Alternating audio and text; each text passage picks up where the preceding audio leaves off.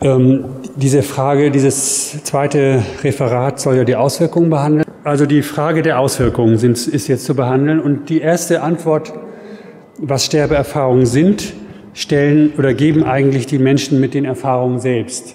Ich habe also hier äh, aus meiner Fallsammlung von ungefähr 350 Fällen 200 Fälle in Salzburg an der Uni von einer Psychologin auswerten lassen über die Frage, was bewirken die Erfahrungen bei den Menschen, die diese haben. Und da sehen Sie immer links Zunahme sehr stark, Zunahme, keine Veränderung, Abnahme und keine Angabe. Also hier linkslastig sieht man einen, das, die Zunahme von religiös vielleicht Altruismus, also Zunahme des Interesses für andere Menschen bei immerhin 56 plus 25 Prozent, also fast 80 Prozent werden altruistischer. Ähm, dann die Religiosität nimmt praktisch genauso stark zu. Also es entspricht ja auch dem altruistischen Handeln letztlich. Aber immerhin 32 Prozent berichten von keiner Veränderung noch. Interessant, jetzt rechtslastig sieht man die Abnahme, starke Abnahme von weltlichen Interessen, also nicht religiösen, materiellen Interessen. Äh, immerhin aber die Hälfte hat da auch keine Veränderung beschrieben. Die Sinnfindung passt wieder zum Thema Religion, nimmt zu, und zwar noch stärker als vorhin. Hier sind es über 70, über 8, nee, 76 Prozent, die den Sinn des Lebens wichtiger finden. Ähm, Lebenswerte passt natürlich zur Frage der äh, Moral und Ethik auch, nehmen, sind auch wichtiger für die Menschen hier in ungefähr über 50 Prozent. Dann die Selbsterkenntnis sozusagen, was bin ich, wer bin ich, die Fragen sind auch wichtiger geworden, also zumindest bei knapp bei über 50 Prozent hier. Und jetzt die größte Veränderung ist diese hier. Sehen Sie ganz stark nach links verschoben.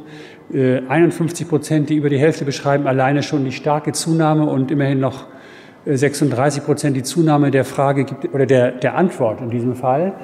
Diese Leute glauben, es gibt ein Leben nach dem Tod. Das heißt, Sterbeerfahrungen sind eigentlich, habe ich am Anfang auch gestern gesagt, die Grundlage dafür, dass die Religionen an ein Leben nach dem Tod glauben, weil die Gründer der Religionen alle solche Erfahrungen hatten. Also Buddha haben wir diskutiert, Mohammed, Schamanen und Jesus und so weiter. Ja, Sie können gerne zwischendurch fragen. Ja. ja. Ja, gut, ich nenne das Nahtoderfahrung im Sinne, dass die Erfahrungen hatten, die die Nahtoderfahrungen ähneln, weil sie veränderte Bewusstseinszustände sind, bei denen es bei Jesus zum Beispiel in der Wüste der Kontakt mit dem Bösen, ne, der Teufel war ja die Versuchungsgeschichte, das war seine Vision.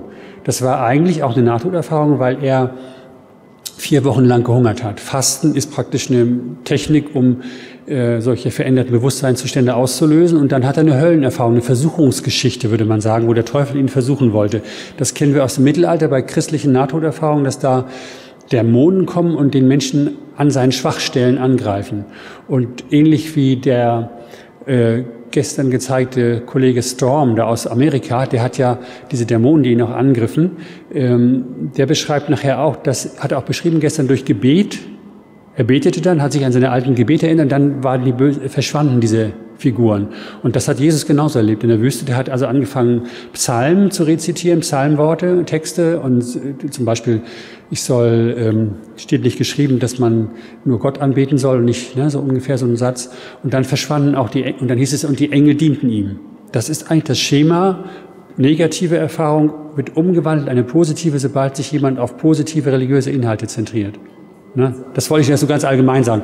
Natürlich haben Sie recht, letztlich Schamanen haben jetzt keine Nahtoderfahrung, aber wir werden nachher noch sehen, die Drogen, die die nehmen, um solche Erfahrungen auszulösen, lösen auch Nahtoderfahrungen aus. Und in der Wissenschaft werden die alle klassifiziert als veränderte Wachbewusstseinszustände mit unterschiedlicher Ausgestaltung natürlich. Gut, ähm, dann gibt es aber auch negative Auswirkungen. Es gibt nicht nur positive. Also zum Beispiel äh, die Entwicklung von esoterischen Interpretationen, muss ich mal ganz hart sagen. Also zum Beispiel äh, Frau Kübler-Ross, äh, nehmen wir erstmal dieses Beispiel hier, der Glaube an Reinkarnation ist nicht haltbar aufgrund von Sterbeerfahrungen. Es gibt keine Sterbeerfahrung in einer Kultur, in der im Lebensfilm frühere Leben auftauchen. Das müsste man aber gerade da erwarten, weil das die Situation ist, wo eigentlich Bilanz gezogen wird. Ne? Und wenn die auch nicht mal in Indien auftauchen bei Sterbeerfahrungen im Lebensfilm, dann muss man sagen, ist das wahrscheinlich eine Fehldeutung, das könnten wir nochmal extra behandeln, von bestimmten außersinnlichen Wahrnehmungen. Das hier macht Frau Kübler-Ross oder auch der Jankovic oder der Sterbeforscher Jacobi, die sagen also, Sterbeerfahrungen sind ein Religionsersatz. Ihr kommt alle in den Himmel, wenn ihr sterbt, so die Versprechen zu geben. Ähm, das entspricht nicht dem Buddhismus und nicht dem Christentum, so eine simple Aussage zu machen und zu sagen, wir sind ja alle so lieb und so nett und wenn wir sterben, kommen wir alle ins gleiche Licht. Das wäre ja auch absurd. Dann käme der kriminelle Sexualstraftäter genauso dahin wie jemand, der sich bemüht, gut zu sein. Das wäre dann völlig unterschiedslos.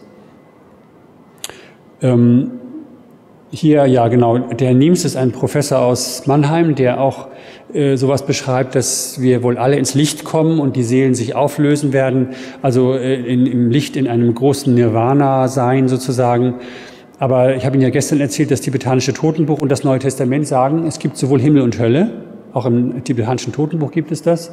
Und ähm, davon, da geht man davon aus, dass die Menschen in dem Licht zwar sich sehr toll fühlen und denken, das sei es, die Wirklichkeit, aber danach, äh, so heißt es im tibetanischen Totenbuch, fällt die Seele runter auf ein Bardo, auf ein Niveau, das ihr entspricht. Und das wird das Christentum eigentlich unterschreiben. Da steht es dann in Worten so sinngemäß, in meines Vaters Haus sind viele Wohnungen. Und das ist nicht jeder, nicht alles gleich. Ne? Und die Höllenerfahrungen gibt es auch im Neuen Testament zumindest beschrieben als Geschichte, als Gleichnis. Gut, dann psychologische Auswirkungen sind auch interessant. Ähm, die familiären Konflikte, also wenn jemand eine Nahtoderfahrung hat und vorher Manager war oder Bank, Bankier, kann es sein, dass er seinen Job aufgibt. Das ist gar nicht so selten. Ich werde Ihnen noch ein Beispiel zeigen. Und dann wird die Frau den Mann verlassen häufiger als man denkt. Also sprich, es, gibt, es kommt zu Scheidungen, weil die Glaubens- und Wert- und Lebenssysteme jetzt nicht mehr übereinstimmen. Wenn der Mann vor oder die Frau meinetwegen auch materialistisch orientiert war und plötzlich spirituell religiös wird, dann gibt es Probleme mit der Ehe oder mit, der, mit den Partnerschaften. Und es gibt gelegentlich auch psychotische Auswirkungen. Das heißt, die Betreffenden äh, haben dann so ein bisschen ein Bild, was man in der Psychiatrie kennt als ähm, präpsychotisch. Das ist so ganz allgemein ähm, auch ein Phänomen, was aber selten der Fall ist. Ähm, ich kann jetzt mal ein paar Auswirkungen zeigen von einigen Menschen mit Nahtoderfahrungen. Äh, die erste Frau ist eine Autorin eines Buches Zwei Frauen, äh, Diana Be Beate Hellmann. Kennen Sie vielleicht, das war vor 15, 15 Jahren mal ein Bestseller. Eine Krebskranke berichtet da von ihrem Tumorleiden. Und dann kommen, äh, kommt der Herr Storm, den wir gestern gesehen haben, mit seiner negativen Erfahrung, der beschreibt seine Auswirkungen. Und dann kommt noch ein Esoteriker, der auch wiederum seine Auswirkungen beschreibt. Und da sehen Sie schon, dass die Interpretationen sehr unterschiedlich sind, also zumindest äh, in der Konsequenz.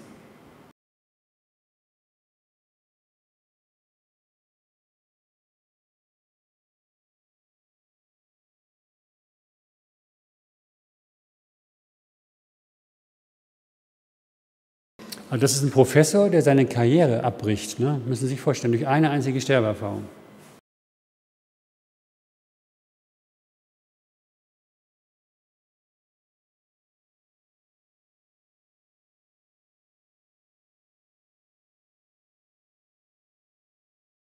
Das ist jetzt der Herr Jankovic, ein Architekt aus der Schweiz, äh, der eine Nahtoderfahrung hatte, ganz früh noch in den ersten Moody-Bücher-Veröffentlichungszeiten war das der auch zwei Bücher geschrieben hat und ähm, dann glaubte danach äh, auch Reinkarnation sei genauso haltbar und die, die Welt tourte nach Lanzarote zum Beispiel und da teure Vorträge gehalten hat. Und er sagt jetzt etwas Ungewöhnliches, er würde lieber heute als morgen sterben, weil er glaubt, er wird dieselbe Erfahrung auf jeden Fall nochmal machen. Und das ist natürlich gefährlich, weil das ist ein bisschen suizidal und zum anderen auch nicht realistisch, weil es kann durchaus sein, dass er eine Höllenerfahrung macht. Das ist auch denkbar. Ne? Jetzt kommt der, äh, eine Amerikanerin, eine reiche Amerikanerin, die auch eine Sterbeerfahrung hatte, die auch ganz erstaunliche Veränderungen durchmachte, ähnlich wie der Herr Storm.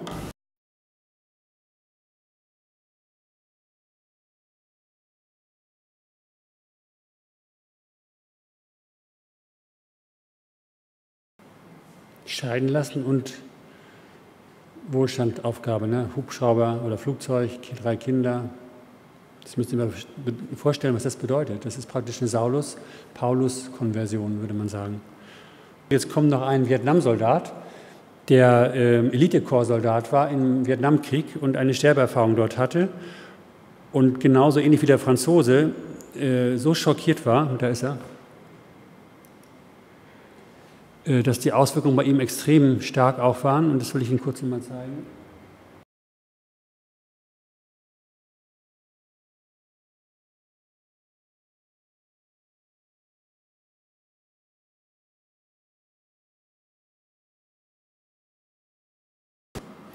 Sie sehen da an seinen Armen die Tätowierung, die er hat. Die Arme sind praktisch ganz blau tätowiert, ne? Von, aus der Kriegszeit noch.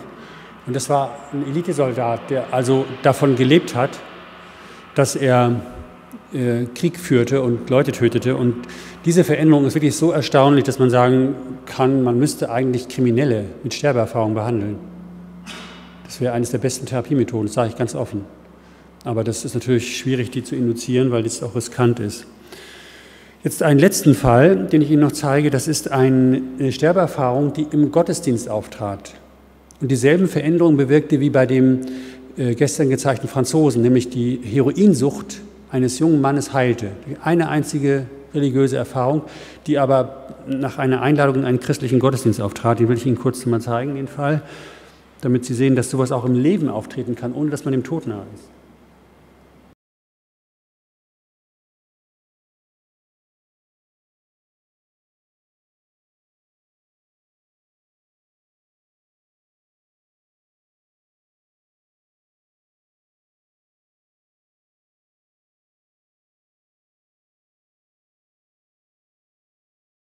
Müssen Sie sich mal vorstellen, keinen Joint und kein Heroin, das kriegen Sie in keiner Therapie hin. Nirgendwo. Hm? Ja, das war ein normaler Heroinsüchtiger. Ich habe noch einen anderen Fall in der Art. Das ist zwar selten, solche Berichte, aber ähm, es gibt sie und das zeigt auch, dass eine religiöse Orientierung schützt vor Suchtkrankheiten. Man weiß sogar, dass die Suchtkranken alle eigentlich suchen. Man nennt das auch so eine Art Rück, die suchen mit der Droge ein Glücksgefühl, was in der Sterbeerfahrung ja vermittelt wird. Ne? Und deswegen gehen wir davon aus, dass religiöse Elemente, die anonymen Alkoholiker zum Beispiel haben, ein Programm, in dem sie spirituelle Elemente einbauen, das Zwölf-Punkte-Programm, und da auch so eine Bindung haben an irgendetwas Überirdisches, also etwas Göttliches. Und dann entsprechend die Erfolgsquoten sind zwar nicht so extrem wie hier, aber die haben damit genauso gute Erfolge wie jeder Analytiker, jeder Verhaltenstherapeut, jeder Drogentherapeut oder sogar noch bessere. Man weiß, dass die Erfolgsquote bei diesen Gruppentreffen erstaunlich gut ist, also erstaunlich hoch ist. Okay, dann kommen wir jetzt zum nächsten Teil. Ähm, das waren also jetzt die Fragen der, wie sie auswirken sich die Erfahrungen und man kann daraus ableiten, also wir tun das so, dass wir sagen, Sterbeerfahrungen werden zum einen von den Menschen interpretiert, die sie haben und ähm, die Erlebenden selbst sind natürlich unterschiedlich in der Deutung. Es kann esoterisch werden, es kann auch wissenschaftlich sein oder, oder zumindest glaubwürdig sein. Man weiß auch, dass diese Dinge hier eine Rolle spielen. Also zum einen die Ausbildung. Natürlich, wenn jemand nur wenig Bildung hat, kann er das nicht so gut einordnen. Die Religiosität, die er vorher schon hatte, dann seine unbewussten oder auch bewussten Vorannahmen oder Erwartungen und auch Wünsche, die sind ganz entscheidend heute, das werden Sie gleich sehen. Ähm, denn daraus resultieren häufig Streitigkeiten, sogar zwischen den Interpreten. Es gibt richtige Schulen inzwischen oder, oder Gruppen, die sich bekämpfen. Und zwar hier in Amerika und in Frankreich haben sich die Nahtodforschung, International Association for Near Death Studies, die haben sich gespalten in zwei verschiedene Gruppen, weil jeder wollte, die, hatte die Führungsansprüche. Ich weiß, wie man das interpretieren muss. Ich kenne die Erfahrung am besten und ich kann sie am besten deuten. Und da haben sie sich irgendwie gestritten und dann äh, sozusagen gespalten. Und dasselbe ist auch in Deutschland passiert. Ich war Mitgründer von diesem Netzwerk hier, Netzwerk Nahtoderfahrung und bin da ausgetreten, nachdem zum Beispiel, das ist nur ein Beispiel, diese Frau Mene, das war eine Dame im Vorstand, eine Krankengymnastin, behauptet hat, äh, Jesus war auch nur eine mit Nahtoderfahrung und ich bin praktisch, ich brauche keinen Jesus, ich weiß selbst, wie, es, wie ich zu Gott komme. Also so ein bisschen überwertige Idee nennen wir das, wenn jemand sich mit einer Figur wie Jesus gleichsetzt, bloß weil er eine Nahtoderfahrung hatte. Und ein anderer Kollege aus dieser, diesem Netzwerk hat dann einige Texte wissenschaftlicher Art in einem Rundschreiben als naiven Blödsinn bezeichnet, weil sie ihm nicht in seine Erklärungsmodelle hineinpassten. Und solche Aussagen sind für mich Grund gewesen, um diesen Verein praktisch zu verlassen. Also auch da kann man sagen, das war eine Spaltung, weil die haben das als sehr bedrohlich erlebt, dass ich da ausgetreten bin, weil ich der einzige Facharzt mit diesem äh, Hintergrund war und haben versucht dann, muss man ganz klar sagen, sehr unspirituell meine Position anzugreifen, indem sie an alle Mitglieder welt, äh, deutschlandweiten Rundschreiben schickten und mich da denunziert haben. Also das zeigt so Kampfesmentalität, so Machtpolitik ein bisschen. Gut, aber jetzt zurück äh, zur Deutung nochmal weltanschaulich. Es gibt, habe ich gestern auch gesagt, in Indien, Afrika, Thailand, Guam oder Melanesien und Hawaii gibt es keinen Tunnel. Die haben mehr so Übergangsbilder mit äh, Wanderung durch ein Tal, durch einen Berg, in einen Wald hinein. Ähm, und es gibt einen Autor, der sagt jetzt, der Tunnel sei eine Beschleunigung der Seele auf Lichtgeschwindigkeit. Das ist ein Physiker aus äh, Mannheim, der Herr Professor Niems mit drei Büchern, die er veröffentlicht hat, äh, Lucy mit C und noch in zwei Nachfolgebüchern. Und seine Hauptthese war eben, der Tunnel beschleunigt die Seele sozusagen in einem sogenannten Searchlight-Effekt. Äh, das ist ein Effekt aus der Physik, den man kennt, ähm, so doll, dass praktisch ein Tunnelphänomen entstehen muss. Der Erlebende, die erlebende Seele muss ein schwarzes, dunkles äh, Passageobjekt vor sich sehen und da durchrasen und dann auf ein Licht zu. Und damit hat er erklärt, dass die Sterbeerfahrungen ein Leben nach dem Tod beweisen, weil ja hier die Seele so auf Lichtgeschwindigkeit beschleunigt wird, dass sie dann Raum und Zeit transzendiert. Und dieses Argument war sein Hauptargument für seine Bücher eigentlich, am Anfang jedenfalls, und ist letztlich widerlegt worden durch diese Kulturen, denn die haben das Phänomen nicht. Und äh, dann müsste man daraus schließen, dass diese armen Menschen nicht ins Jenseits kommen, weil sie ja nicht auf Lichtgeschwindigkeit beschleunigt werden. Also Sie sehen nur mal als Beispiel, wie leicht man sich in Deutungen äh, so ein bisschen verrennen kann, obwohl die Idee ist ja nicht schlecht, aber sie passt eben nicht. Ähm, hier jetzt die Deutung, die allgemein anerkannt ist. Sterbeerfahrungen sind mystische Erfahrungen. Für diese mystischen Erfahrungen gibt es einen sogenannten äh, Katalog von äh, Kriterien von Herrn Stace aus Amerika. Und wenn Sie diesen Katalog durchlesen, dann sehen Sie, dass das genau die Elemente oder die Erfahrungsbereiche sind, die Sterbeerfahrungen etwas abstrakter klassifizieren. Dieses Einheitserleben ist dieses Gefühl von Allwissenheit, Verschmelzung mit dem Licht, Alleinheit, alles ist voller Friede und äh, Transzendenz von Zeit und Raum haben wir gestern gesehen mit äh, außersinnlichen Wahrnehmungen. Dann diese Glücksgefühle am Anfang der Sterbeerfahrung, das Gefühl, sie hätten etwas Heiliges gesehen, mit dem Licht besonders. Das Gefühl, dass das eine größere Wirklichkeit ist als die normale alltägliche Wirklichkeit. Dann auch hier diese außerkörperliche Erfahrung, wo man die Wirklichkeit von oben sieht, also die Realität noch wahrnehmen kann. Paulus hat hier die Unaussprechlichkeit seiner Out-of-Body-Erfahrung beschrieben in der 2. Korinther 12. Die Erfahrung ist selbst sehr kurz und paradox im Sinne, dass sie nicht mit dem normalen Weltbild übereinstimmt. Und es kommt danach zu auffallenden oder anhaltenden positiven Veränderungen. Das könnte man eigentlich alles auf Nahtoderfahrungen äh, übertragen. Und damit sind äh, Near-Death-Experiences die häufigsten mystischen Erfahrungen überhaupt. Also ich hatte gestern gesagt, 4% der Deutschen machen solche Erfahrungen. Das ist also, kann man sagen, sehr, sehr ungewöhnlich, dass 4% der deutschen Bevölkerung jeden Tag sozusagen religiöse Erfahrungen machen. Jetzt die Frage, sind es Halluzinationen? Eine wichtige Frage aus meinem Fachgebiet. Ähm, zum einen ist eins klar, der, Ster der Lebensfilm, in dem man das eigene Leben ablaufen sieht, besteht nicht aus äh, rekonstruktiven Bildern, sondern aus fotografischen, äh, genauen Wahr äh, Registrierungen der Vergangenheit. Also jedes Bild aus der Vergangenheit, was Sie da sehen, ist eine Fotografie, und zwar vom Gehirn oder vom Auge gemacht. Das kann man untersuchen, ist auch untersucht worden. Dann, ähm, da würde man also sagen, dieses Element ist zumindest sicher keine Halluzination. Die Frage jetzt, ob ähm, Menschen mit Tendenz zur Halluzination, also psychisch kranke äh, Schizophrene besonders, häufiger solche Sterbeerfahrungen haben, muss man verneinen, sodass man daraus auch zumindest sagen kann, dass das nicht ohne weiteres eine übliche religiöse Halluzination eines äh, Psychotikers ist. Äh, dann der nächste Begriff, Halluzinationen sind ja in der Regel definiert als unterschiedlich. Es gibt keine gemeinsamen Halluzinationen. Also man sagt immer, wenn die Mehrheit der Bevölkerung etwas sieht, dann ist das real. Wenn das nur Einzelne wahrnehmen, ist das eine Halluzination und kein anderer das bestätigen kann. Hier aber ist es so, ähm, die Sterbeerfahrungen sind zwar unterschiedlich in der Ausgestaltung, also die Tunnel sind anders gestaltet, die Landschaftsbilder sind variant, aber die Grundelemente, die sind transkulturell. Also Tunnel, Licht, außerkörperliche Erfahrung, Paradies oder Hölle, sowas in der Art. ähm, sodass man sagen muss, es handelt sich wahrscheinlich eher um Archetypen in unterschiedlicher Ausgestaltung. Und nur die Ausgestaltung der Nahtoderfahrung, die ist wahrscheinlich traumhaft, also sprich individuell, unbewusst durch Erwartungen. Deswegen erleben zum Beispiel Buddhisten auch keine Jesusfigur und äh, Christen keinen Buddha, wenn sie sterben, weil sie eben damit nicht rechnen, ne, dass der ihnen äh, erscheint. Ähm, ja, der nächste Punkt ist, ähm, in, dieser, in diesem veränderten Bewusstseinszustand ist der Betreffende nicht ganz rational mehr. Wir sagen, das ist ein Wachtraum, ein Luzidtraum, die Nahtoderfahrung, in dem der Betreffende wach wird und seinen Traum bewusst, bewusster als sonst erlebt. Ähm, wie bei einem Wachtraum weiß man, dass die Traumbilder Produktionen des Unbewussten sind. Und Dementsprechend kann es durchaus sein, dass die außerkörperlichen Erfahrungen, die man macht, Rekonstruktionen des Raumes sind, die wir im Kopf hatten. Und der Betreffende bewegt sich in einem sozusagen imaginierten, rekonstruktiven Feld oder Raum, der eigentlich nicht der wirkliche ist, aber genauso aussieht.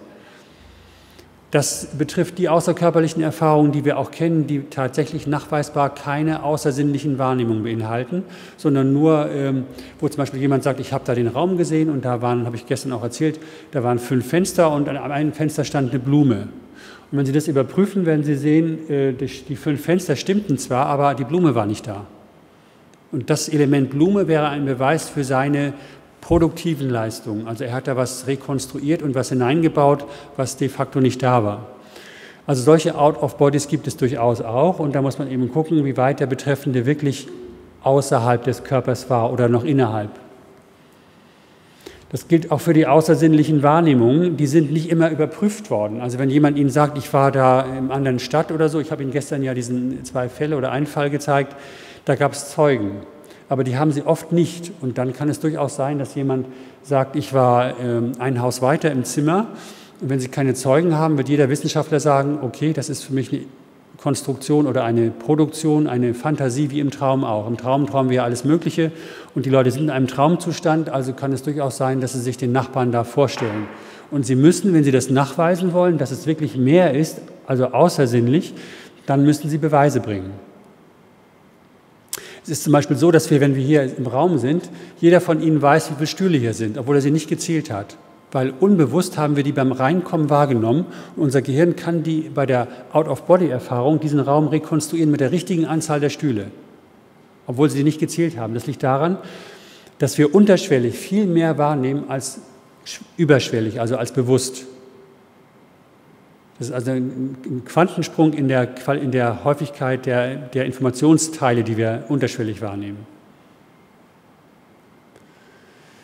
Gut, dann gibt es natürlich diese richtigen außersinnlichen Wahrnehmungen, die haben wir auch besprochen. Ähm, hier hat man mal untersucht, bei 288 außerkörperlichen Erfahrungen hatten 34 Prozent nachweisbar richtige außersinnliche Wahrnehmungen gemacht, ein Drittel ungefähr. Ne? Also das spricht dafür, dass Sterbeerfahrungen ähm, durchaus auch außerkörperliches Sehen oder Erleben bedeuten können. Natürlich wird Ihnen das kein Kollege von mir ohne weiteres abnehmen. Sie müssen auch da immer wieder Zeugen, oder die Studie muss hier überprüft werden, hat er wirklich Zeugen gesehen, ne, äh, gehabt dafür, für diese Aussage. Das Interessante war jetzt, je echter diese außerkörperlichen Erfahrungen im Labor waren, man kann die im Labor herstellen, also man kann Leute, die begabt sind, ins Labor auf eine Couch legen und sagen, bitte ähm, versucht mal ein Out of Body zu machen und in einen Nebenraum zu gehen und dort zu gucken, was ihr da seht, ob ihr da was seht. Und da ist es so gewesen, dass die Fähigkeit, ein Zielobjekt zu identifizieren, abhängig war von der, kann man sagen, der Echtheit der Erlebnisse. Das heißt, wenn die sozusagen imaginiert waren, dann hat er keinen Erfolg gehabt. Wenn die aber echt waren, dann konnte er im Nebenraum irgendwas sehen.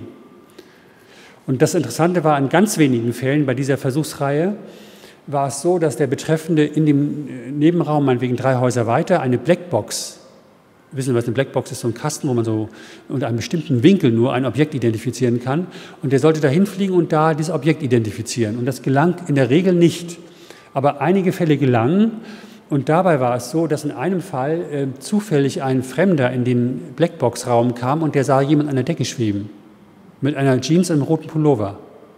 Und das war genau die Versuchsperson, die ihm drei Häuser weiter auf der Couch lag und ein äh, Out-of-Body versuchte zu, auszulösen. Das war ein Beispiel dafür, dass das gelegentlich gelingt. Und das kennen wir aus dem Zweiten Weltkrieg, habe ich gestern auch erwähnt. Die vielen Fälle, wenn jemand stirbt zu Hause, äh, auf dem, im, im, Feld und die Mutter zu Hause plötzlich einen, die Uhr stehen bleibt oder ein Kreuz erscheint im Raum oder irgend sowas. Da gibt es also massenweise empirische Berichte, die alle glaubwürdig sind, dass zur gleichen Zeit, wo jemand im Krieg stirbt, zu Hause was passiert. Und das würde man hiermit äh, sozusagen übereinstimmend erklären, dass also der äh, Sterbende im Krieg auch ein Out-of-Body hat und zu Hause kurz erscheinen kann. Da gibt es also viele Kasuistiken. Ähm, man hat auch Tiere in diesem äh, Zielortraum hingesetzt. Die Tiere wurden meinetwegen mit einer Kamera gefilmt, das waren Katzen zum Beispiel. Und da hat man versucht herauszufinden, ob die Katzen merken, dass da jemand im Raum schwebt. Und die Katzen, überhaupt Tiere, sind ja sensibler als wir. Und da gab es tatsächlich auch wieder Erfolge, dass die Katze genau simultan mit der Zeit in eine bestimmte Ecke des Raumes äh, die Haare sträubte und sich dahin stellte, als der Betreffende in einem Haus mit einer gewissen Technik, äh, Augenrolltechnik signalisiert hat, jetzt verlasse ich meinen Körper und bin, hat er hinterher gesagt, in dem rechten Eck, äh, in der rechten Ecke des Raumes gewesen, wo die Blackbox war. Und genau da hat die Katze zu der Zeit sekundengenau ihre Haltung und ihr Verhalten geändert. Also daraus würde man ableiten, es gibt tatsächlich auch im Labor gelegentlich äh, solche äh, Effekte, die man über außersinnliche Wahrnehmung erklären kann.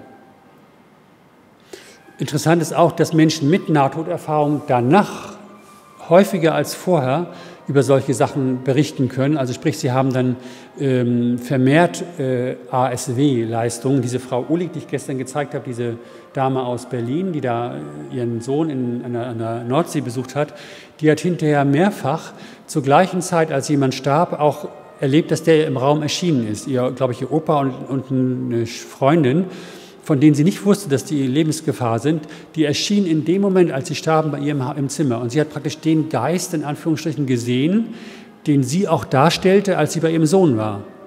Also das war so identisch, dass man daraus auch ableiten kann, dass sowas eben tatsächlich außersinnliche Wahrnehmung oder außerkörperliches Sein bedeuten kann. Ja, und äh, wir schließen daraus, wenn das sich also häuft nach dem Erlebnis, dann ist das äh, Gehirn sozusagen mit einer Nahtoderfahrung umstrukturiert worden. Das hat andere Aktivitätsareale jetzt als vorher, denn die außersinnlichen Wahrnehmungen werden ja noch vom Gehirn geleistet bei Lebenden. Die sind ja nicht tot oder so, sodass das Gehirn irgendeine Funktion dabei noch übernimmt.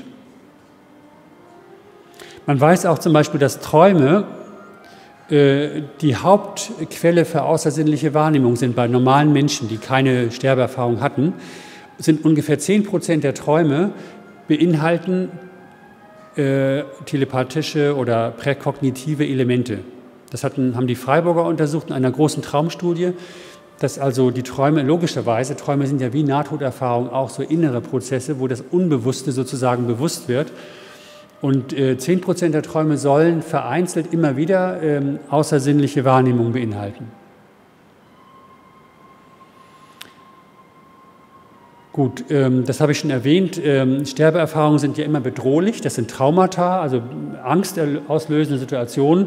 Und dann in dieser Spannung, die der Sterbende jetzt hat, wenn er sich äh, sein Leben plötzlich aufhört, dann wird er in seinem höchsten Affekt sozusagen versuchen, eine Verbindung zu seinen äh, Verwandten aufzubauen. Und dann nennt man das eine telepathische Übertragung sozusagen, was hier im, durch diesen starken Affekt ähm, ausgelöst wird. Okay, jetzt werde ich Ihnen aber, ähm, das habe ich schon erwähnt, jetzt werde ich Ihnen Beispiele zeigen, nochmal zur Frage der Halluzination. Man kann sich ja auch täuschen und äh, beides ist bei Sterbeerfahrung möglich. Sie können halluzinieren, also innere Bilder produzieren und glauben, das ist Wirklichkeit und Sie können außersinnlich wahrnehmen. Und dazu zeige ich jetzt ein Beispiel, wie jemand ähm, unter äh, Hypnose halluziniert und glaubt, dieses Bild, was er da sieht, sei echt. Und da sehen Sie also, wie leicht wir uns täuschen können, wenn wir ähm, in einem veränderten Wachbewusstseinszustand, also wie Hypnose oder im Traum sind, dann Dinge sehen und glauben, die müssen real sein, weil das ja so ungewöhnlich ist.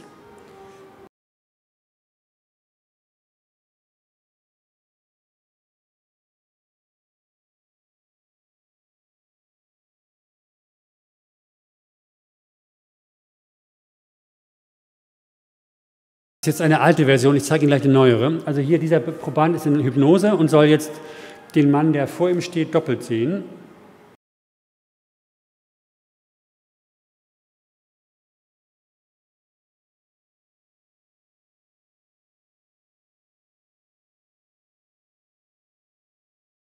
Jetzt kommt die bessere Version, eine äh, neuere Fassung desselben Experiments, äh, die ganz interessant ist nochmal, weil Sie sehen, wie leicht wir uns täuschen können.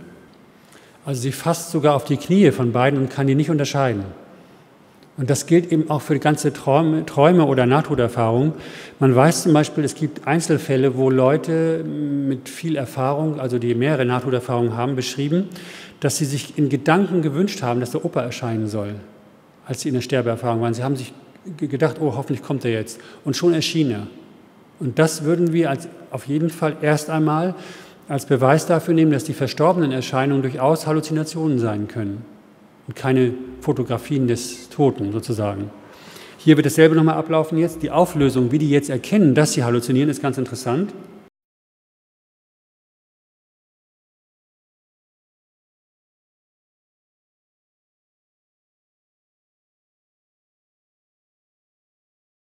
Klar, ne? sie hat also in Gedanken sich gewünscht, sie sollen das Bein ausstrecken. Und das hat nur die Linke gemacht, von ihr aus gesehen, die Linke, also die Halluzinierte. Und die Rechte hat nicht reagiert. Und damit war der Beweis, dass diese Figur halluziniert war, für sie auch. Und Sie sehen, die Frau ist ja wach, ne? die ist nicht in Volltrance. Und das gilt für alle Reinkarnationssitzungen. Was Sie in Reinkarnationssitzungen produzieren, ist nichts anderes als eine Fiktion, eine Einbildung. Mit inneren Bildern, wo Sie sich vorstellen, ich habe mal da gelebt und das kann Ihnen ganz real erscheinen. Es ist absurd zu glauben, dass das irgendwas mit der Wirklichkeit zu tun hat weil sie kriegen in der, äh, jeder Analytiker würde seit 20 Jahren schon äh, Rückführungen machen, wenn er an die Traumata in der Kindheit herankäme, so einfach. Das können nur die Esoteriker so schnell frühere Leben hochholen. Das ist einfach Unsinn. Das geht nicht. Und hier, ähm, das ist so ein Beispiel auch für Sterbeerfahrungen. Das Problem ist eben, wie gesagt, die Bilder der Landschaften. Ich kann Ihnen einen Fall erzählen, eine junge Frau, die auch gerne in diesem Netzwerk da äh, herumgereicht wird als Beweis. Die hat in der Landschaft im Jenseits in Anführungsstrichen ihre Eltern getroffen, die verstorben waren und meinte, das sei alles real. Oder ihre Großeltern waren das. Und da hat sie plötzlich den Wunsch gehabt, ich möchte mal gucken, was meine Eltern jetzt machen. Und in dem Moment löste sich der Grasboden, auf dem sie da lief oder stand, auf und sie sah, der wurde zu Glas. Also das grüne Gras wurde zu durchsichtigem Glas und sie konnte durch das Glas auf die Erde gucken. Und das zeigt Ihnen ja, ne, wie fiktiv das Ganze ist. Also dass da praktisch innere Wünsche sich sofort wie in Träumen auch umsetzen in andere Wirklichkeitsbilder. Also sind Sterbeerfahrungen auf jeden Fall nicht Fotografien des Jenseits. Sie beinhalten zwar durchaus außersinnliche Wahrnehmungen, aber sie sind noch nicht im Jenseits sozusagen.